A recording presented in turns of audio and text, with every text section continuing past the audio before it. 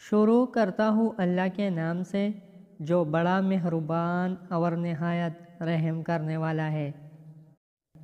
حضرت معیرہ بن شعبہ رضی اللہ تعالیٰ عنہ سے روایت ہے کہ حضرت سعد بن عبادہ رضی اللہ تعالیٰ عنہ نے عرض کیا کہ اگر میں اپنی بیوی کے ساتھ کسی غیر مرد کو دیکھوں تو میں بغیر کسی پوچھ گچھ کے تلوار کے ساتھ اسے مار دوں گا۔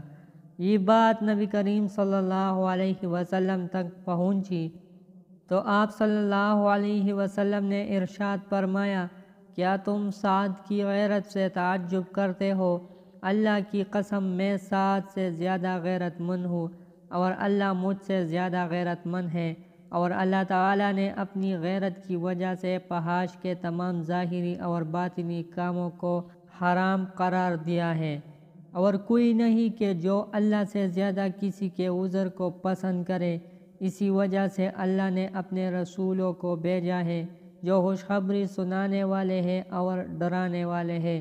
اور کوئی آدمی نہیں جسے اللہ تعالیٰ سے زیادہ مداح و ثنا پسند ہو، اسی وجہ سے اللہ نے جنت کا وعدہ فرمایا ہے۔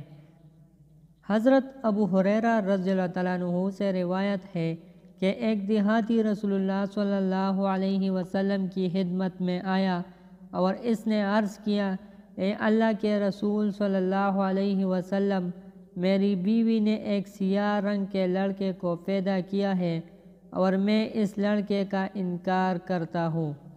نبی کریم صلی اللہ علیہ وسلم نے اس دیہاتی سے فرمایا، کیا تیرے پاس اون ہے؟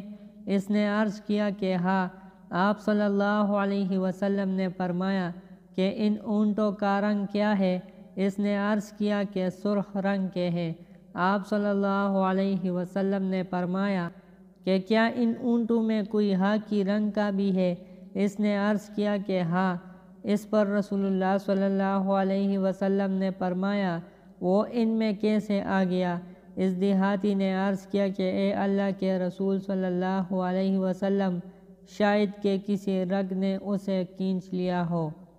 تو نبی کریم صلی اللہ علیہ وسلم نے اس دیہاتی سے فرمایا، اس بچے کو بھی شاید کسی رگ نے کینچ لیا ہو۔